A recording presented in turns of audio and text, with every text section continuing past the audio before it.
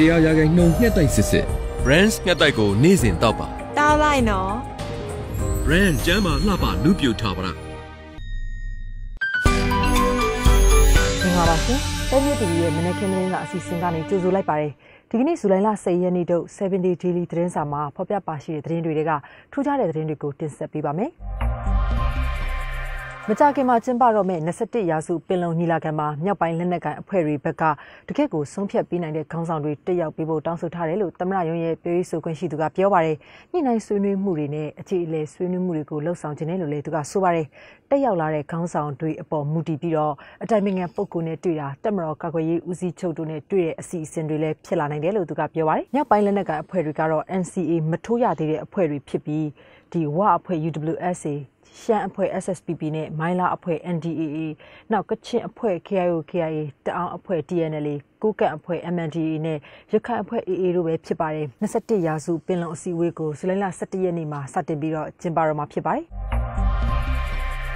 သိန်းနီမျိုးအနီးမှာတော့တပ်မတော်နဲ့လက်လက်ကိုင်အဖွဲ့တစ်ဖွဲ့တို့တိုက်ပွဲဖြစ်ပွားခဲ့ပါတယ်။မန်လေးမူဆယ် ပြည်တော်စုလန်သိန်းနီမျိုးအနီးမှာမိုင်းပေါက်ကွဲမှုဖြစ်ပွားလို့တပ်မတော်လုံခြုံရေးအဖွဲ့ကတွားပြီးတော့စစ်ဆေးချိန်မှာပြစ်ခတ်ခံရပြီးတော့တနအီခန့်ကြာတိုက်ပွဲဖြစ်ပွားခဲ့တယ်လို့သိရပါတယ်။အမည်စစ်စစ်ဆယ်လက်နက်ကိုင်အဖွဲ့တစ်ဖွဲ့ကချောင်းမြောင်းပြစ်ခတ်တာဖြစ်တယ်လို့လည်းသိရပါတယ်။သိန်းနီမျိုးဟာလာရှိုးနဲ့ကွတ်ခိုင်မြို့ကြားမှာတည်ရှိပြီးတော့ရှမ်းပြည်နယ်မြောက်ပိုင်းကတခြားမြို့တွေလိုမျိုးမြို့အနီးမှာတိုက်ပွဲဖြစ်ပွားမှုနည်းပါတဲ့တောင်ပေါ်မြို့တစ်မြို့ဖြစ်တယ်လို့လည်းသိရပါတယ်။ရှမ်းမြောက်ဒေသမှာတော့တနိုင်ငံလုံးအပြည့်ရဲ့စာချုပ် NCA ကိုလက်မှတ်ထိုးထားတဲ့ RCSS SSA နဲ့လက်မှတ်မထိုးရသေးတဲ့တအောင်းအဖွဲ့ TNL တို့ကအဓိကလှုပ်ရှားနေတဲ့နေရာဒေသတွေလည်းဖြစ်ပါတယ်။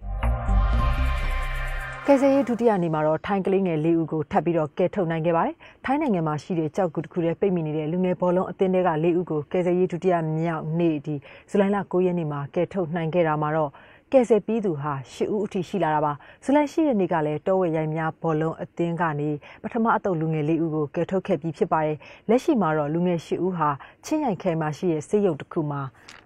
တီးတန့်ကြက်မက်ကုတဆောင်တဲ့ကိုရောက်ရှိနေပြီဖြစ်ပါတယ်တန်လောင်ကူထဲမှာသူတို့ရဲ့အသင်းပေါ်၄ဦးနဲ့နီးပြားတို့ကြံနေသေးတဲ့အတွက်အမြန်ဆုံးကယ်ထုတ်ဖို့လည်းစီစဉ်နေတယ်လို့သိရပါတယ်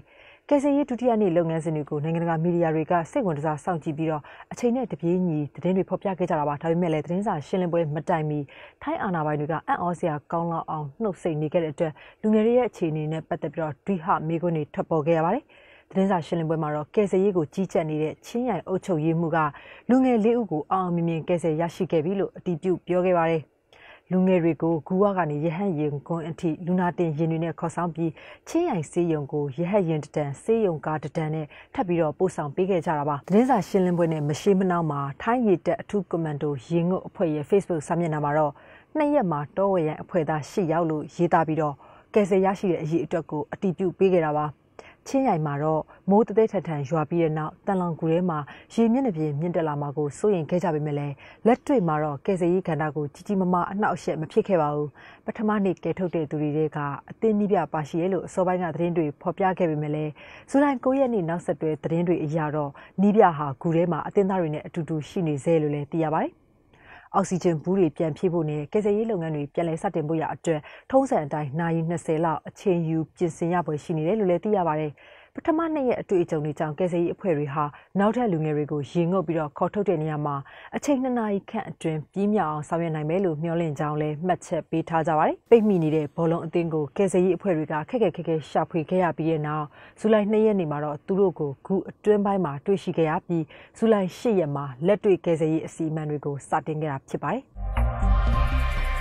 ကနန်းရှစ်လုံးပါတဲ့ကြက်တထောင်တန်အသစ်တွေကိုဗဟိုဘဏ်ကထုတ်လုပ်တာကြောင့်အခုနှစ်မှာငွေကြေးဖောင်းပွားမှုတွေမြင့်တက်နိုင်တယ်လို့သုံးသပ်ချက်တွေရှိနေပါတယ်။ဒါပေမဲ့လည်းဗဟိုဘဏ်ငွေကြေးစီမံခန့်ခွဲမှုဌာနညွှန်ကြားရေးမှူးချုပ်ဦးအောင်ကျော်တန်းပြောတာကတော့ဒီလိုကြက်တထောင်တန်ငွေဆက်ကူတွေထုတ်တာကြောင့်ပြည်တွင်းမှာငွေကြေးဖောင်းပွားမှုမဖြစ်နိုင်ဘူးလို့ပြောပါတယ်။ နှစ်20ကြာအသုံးပြုခဲ့တဲ့ဟောင်းနှွမ်းတဲ့ကြက်တထောင်တန်ငွေဆက်ကူတွေကိုဖျက်ဆီးပြီးတော့ငွေဆက်ကူအသစ်တွေနဲ့အခုလိုမျိုးအစားထိုးရတာဖြစ်တယ်လို့သူကဆိုပါတယ်ကြက်တထောင်တန်ငွေဆက်ကူတွေထုတ်တာကိုဗဟိုဘဏ်အနေနဲ့စနစ်တကျတွက်ချက်ပြီးမှဆောင်ရွက်တာဖြစ်တယ်လို့လည်းသူကဆက်ပြီးတော့ပြောခဲ့ပါတယ်မြန်မာနိုင်ငံမှာကြက်တထောင်တန်ငွေဆက်ကူတွေကို1990ဇွန်လကစတင်အသုံးပြုပြီးအရွက်ကြီးကြက်တထောင်တန်ငွေဆက်ကူအများစုကိုမိရှို့ဖျက်ဆီးခဲ့တယ်လို့သိရပါတယ်။ ငွေဆက်ကူအသစ်ရိုက်ထုတ်မှာဖြစ်ပေမဲ့လည်းငွေဆက်ကူအဟောင်းနေရာမှာအစားထိုးသုံးဆွဲဖို့ဖြစ်တာကြောင့်ငွေကြေးဖောင်းပွားမှုမရှိဘူးလို့သူကပြောခဲ့တာပါ